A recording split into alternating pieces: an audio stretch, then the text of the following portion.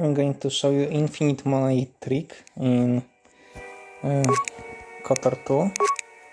It works on every platform. I use it on phone. But yeah, I just purchased uh, 5 parts for 180 gold each.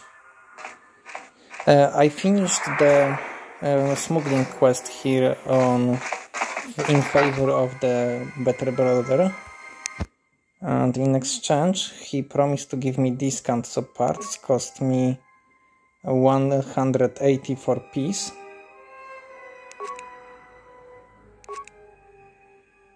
oh fuck I create a view breakdown. Uh, don't worry I create a breakdown for same price. So once you break down the items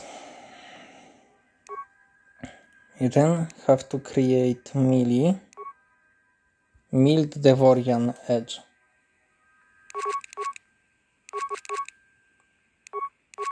So I show you purchase of 5, so I create 50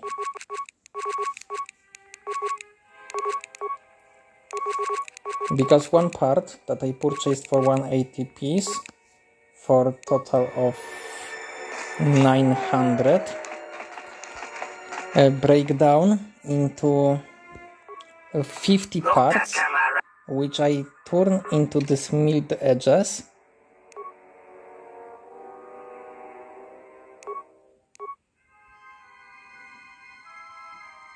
which I then sell for uh, 20 credits a piece.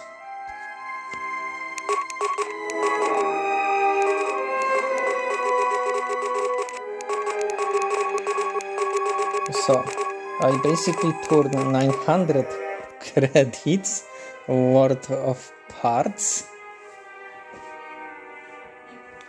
into 1000 credits worth of parts. This sounds like extremely tedious and slow method of infinite money. Because it is, but it is infinite money in crafting in one room and I don't know if you are ultra desperate or I don't know have huge capital and wanna like buy all three of his items instead of one and this is for you. Have a good day